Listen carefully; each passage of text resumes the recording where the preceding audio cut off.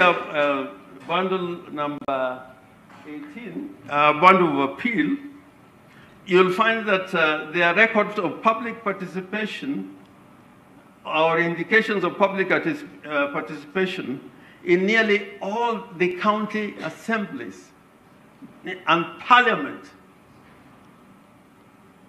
And from the JLAC report, you'll find that even the Law Society took part in that process.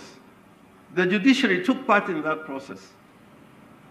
The only problem was that this matter went to court before these matters were fully ventilated in the county assemblies, in parliament, and at the time when it was uh, uh, said that uh, you know the uh, signatures had been collected. I- I, I think that should not have happened.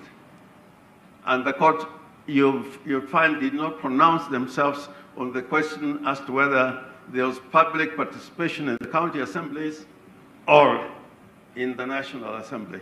So they stuck to the question that uh, there was no public participation during the collection of the signatures uh, uh, and before uh, the handing over of the signatures to the IBC. Finally, I want to, pro- uh, um, I, I want to share you just a matter of grammar in Article 154 or 257, sub-article 4. Uh, I've not done Luo grammar or grammar in the Luo language or in French, uh, a little bit in French.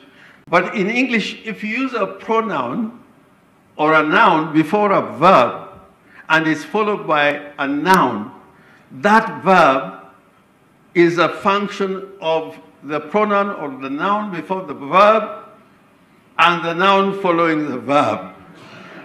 But if you have a sentence that is broken and thereafter you find a noun and another verb, it cannot relate to the noun and the pronoun that preceded the second verb. Simplify So that. if you look at Can you simplify that? if, if you look at Article 257, it's broken in two parts. The operative verb, the first one is deliver, and the, what do you deliver? Signatures. The second verb, which is a function of IEBC and registered voters, is to verify. So there's a distinction before delivery All right, all right. and Thank you, senior counsel. Your time is up.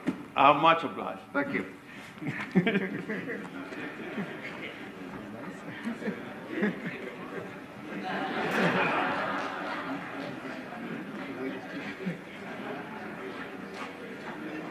But that was a good English lesson.